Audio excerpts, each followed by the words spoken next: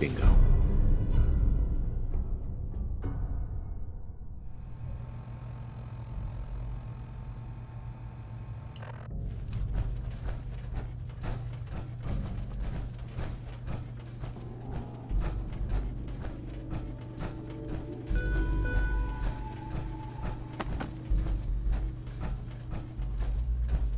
The fall standardized tests are coming. Sign up for Saturday practice sessions starting next month.